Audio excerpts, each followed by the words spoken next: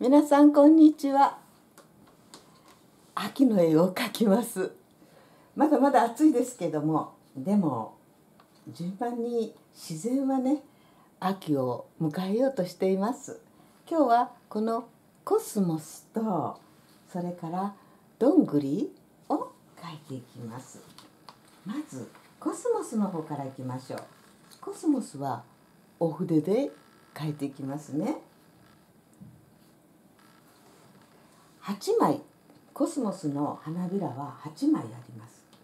なのでまずここに書くところに点点点点点点点点点点とこのね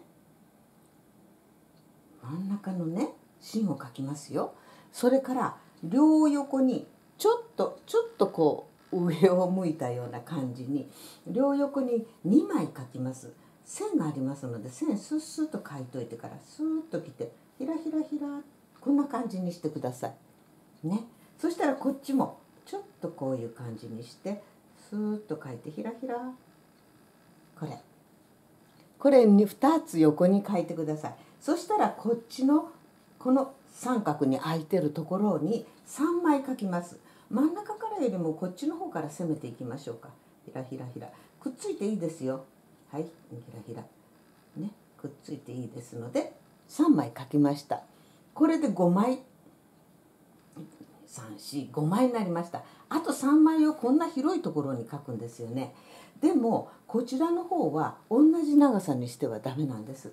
ちょっと広げて短く。ちょっと広げてうんと短く。ちょっと広げて少し短くします。そうすると上を向いた花になるんですね。はい。じゃあこれで一つかけました。もう一つちょっとね。はい。もう一度いきますよ。点点点します。それから横にはい。ひらひらギザギザギザ。はい。こっちにも。はい。ギザギザギザ。あと上に3枚。ギザ。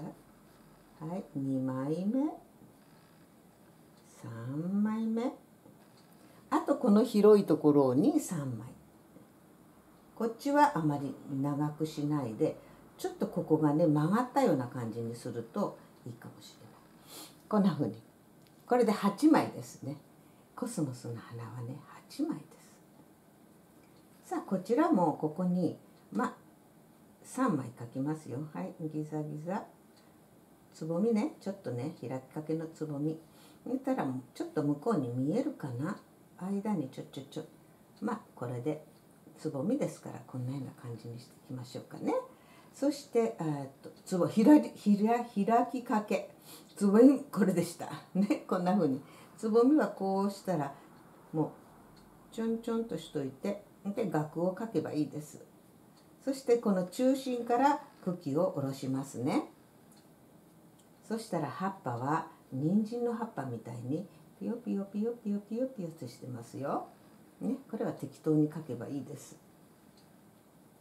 あ、ちょっと真ん中に書いちゃったね。あ、いいですね。じゃあここに秋風に揺れてと書いておきますさっき。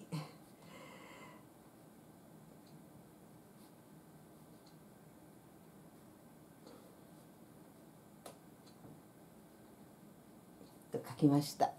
じゃあ色ですね。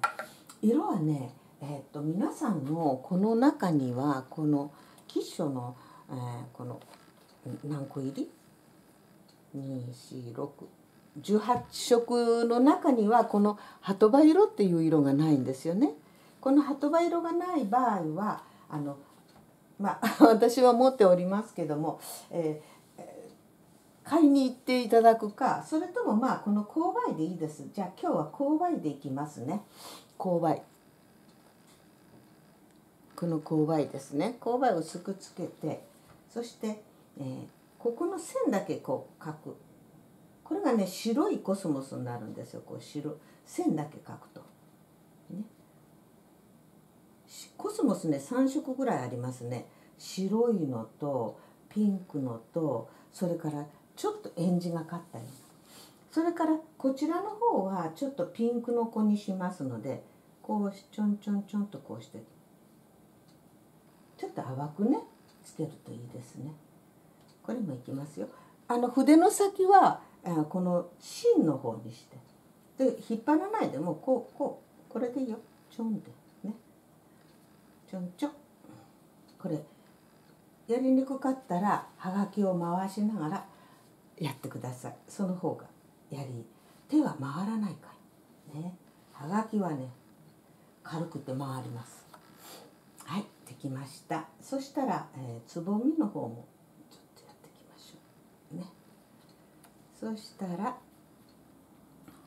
あとはちょっと黄緑と若葉と青草ぐらいのでここをこの額をちょっと入れて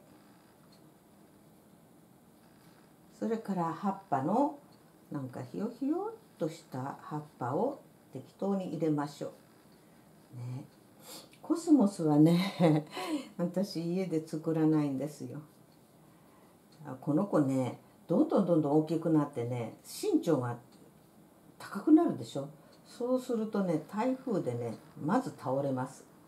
だからコスモスはよそに咲いてるのを見るのが一番いいなって思ってます。このような感じで葉っぱを描いていきました、えー、今度は中心の黄色ですね。黄色ですけども、うん、ちょっと、まあ、黄色もちょんちょんちょん入れていきましょうかね。ちょんちょんちょんちょん。そしたらちょっと朱色もちょちょちょちょちょちょっと入れましょうかね。こんな感じですね。まああの全部ピンクにされてもよろしいしね、えー、ちょっと紫がかったのにしてもいいですね、えー、これ今ちょっとね黄色やったのをね洗ってきたんですけどねピンクが出るかが。これ皆さん一つしか持っていなかったらねハケと一緒にザーッとこの水道のねあの水のとこでザーッと洗ってくださいね。そうしないとねあのピンクやったつもりがねさっきの黄色と混ざってねオレンジが出てきたりしますからね、えこれですか？こうして。パーッと周りにねこの勾配をねこう散らしますとまだまだお花がいっぱいあるよっていう感じになります。はい、秋風に揺れてとしました。もっと濃いくしてくださってもいいですよ。はい、次はどんぐりですね。えー、まだ木についていたどんぐりを描いていきたいと思います。うちの 孫じゃないひ孫。ひ孫がですね、えー、もう3歳になりましてね。もう秋になるとねどんぐり拾いがね忙しいです。はい書きますよ。今度ここからくるりんくるりんとしてここに、えーと、どんぐりのなんだろうこれ。傘っていうの？がありますね。ここピッとしときましょう。こっちもくるりんピッ、えー、うちの近所にねあのお宮さんがありましてねそこにねどんぐりの木がねあのたくさんあるのでねそれを拾いに来てくれますね。ちょっと木を描いといて。それから葉っぱですね。どんぐりの葉っぱは意外と長いですね。ピッピッピッピッピッピッピッピッピッそしてこっちにも描きましょうかね。葉っぱはね葉脈から描いた方がいいですよ。みんなねこの輪郭から描く人ありますね。私よくできるなと思ってね いつも感心してるんですけどね。あ私は葉脈からしか描けませんね。葉っぱの外から外側からは描けません。葉脈を描いてからここちょっとねこう曲がってるんですよね。というような感じになりました。そしたらそうですね。茶色でいきましょう。茶色にちょっと黒先っちょの方だけちょっと黒にしてここねちょっと光ったようにしたいですよね。まっすぐ。ちょっと残そうか。ね。そしてえっ、ー、とこの下はちょっと黄土色みたいな色にしといて木もちょっと小黒いような感じにして。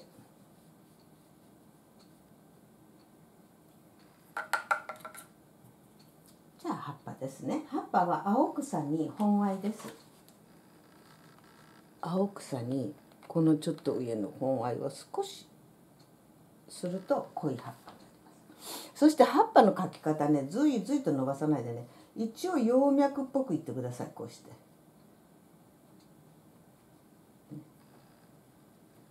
そしてこれも回しましょう。ね。回すとやりいい。からはいここも。ここも。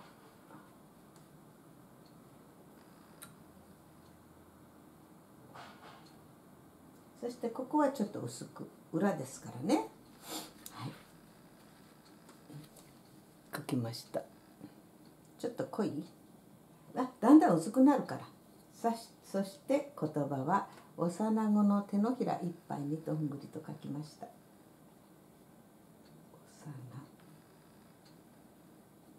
幼の手のひらにした方がいいのかな。ひら。いっぱいにどんぐりとそしてまあ黄色で網掛けしてもいいんですけどもちょっとこうパーッと明るくしときました。はいこんな感じに。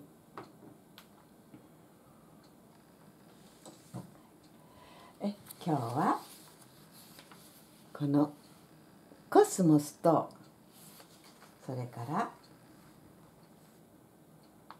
どんぐりを描きました。